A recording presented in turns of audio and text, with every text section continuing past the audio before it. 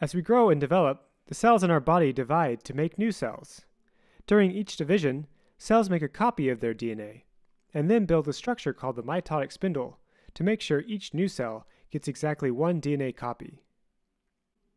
The mitotic spindle is made by two centrosomes that build stiff fibers of the protein tubulin, called microtubules, which connect to DNA.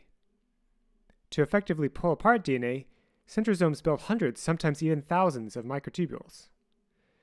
How do centrosomes build so many microtubules and arrange them in the correct pattern?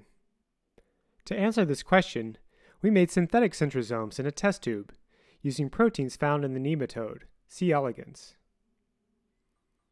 We found that the outer layer of the centrosome, called pericentriolar material, is a sponge-like scaffold made up of the protein SPD-5.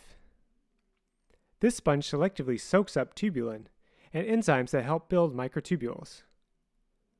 Once these components are concentrated inside the sponge, microtubules start to form. Just like in a sponge, the scaffold is fairly stable, while the concentrated proteins inside are liquid-like and can move around freely within the sponge.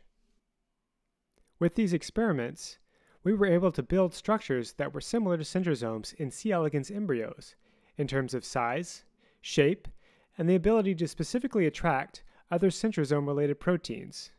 And we discovered a minimal set of components needed for centrosomes to make microtubules and arrange them in the right pattern. If you'd like to know more, please read our work, published in Cell.